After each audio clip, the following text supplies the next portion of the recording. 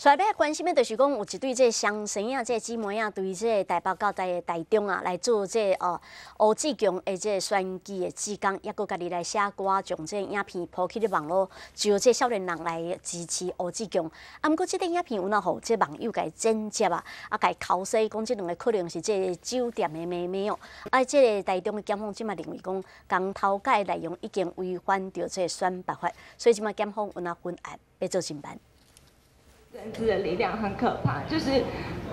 这对双胞胎姐妹也是哭甲真伤心，啊，那嘛无想到家己翕一段影片支持吴志强，却被故意改编。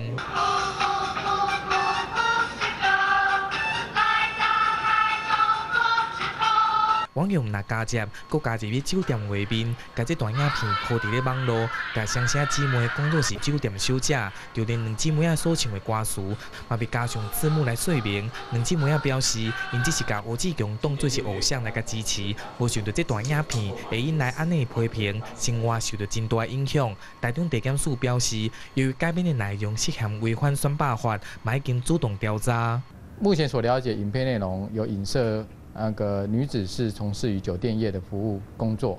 那并且与市长候选人有所接触，那这个部分是否有不当的一个影射，我们会进行了解。因为违反选罢法是公诉罪，检方已经分案侦办，看点两个定名间内毛无共款的说明。用这样的司法打压年轻网友，跟年轻网友把这样可受公平的事情，用司法的资源啊来处理，来打压这些年轻网友，我们觉得这样好吗？而且年轻人很喜欢在网络上面创意，大家应该多多包容他们，以正面的眼光来看待他们。